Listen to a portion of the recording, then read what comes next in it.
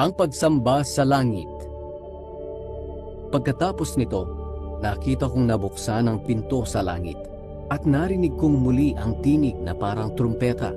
Sinabi niya, Umakyat ka rito at ipapakita ko sa iyo ang mga mangyayari sa hinaharap. Bigla na lang ako napuspos ng banal na espiritu.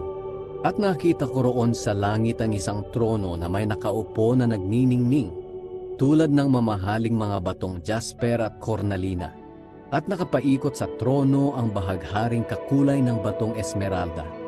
Nakapaligid sa trono ang dalawamput apat pang trono kung saan nakaupo ang 24 na namumuno na nakaputi at may mga koronang ginto.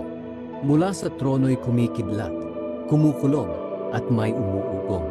Sa harap ng trono'y may pitong nakasinding ilawan.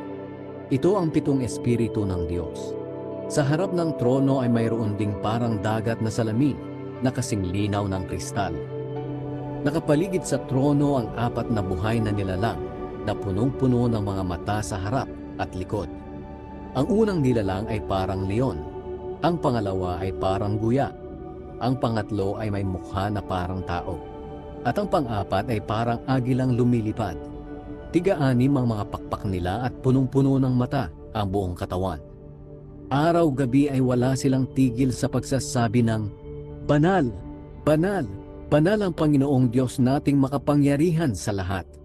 Siya ang Diyos noon, ngayon at sa hinaharap. Habang nagbibigay sila ng parangal, papuri at pasasalamat sa nakaupo sa trono na nabubuhay magpakailanman, lumuluhod at sumasamba sa kanya ang dalawamput apat na namumuno. Iniaalay nila ang mga korona nila sa harap ng trono at sinasabi, Karapat dapat po kayo Panginoon naming Diyos na tumanggap ng parangal, papuri at kapangyarihan dahil kayo ang lumikha sa lahat ng bagay at ginawa ninyo ang mga ito ayon sa inyong kagustuhan.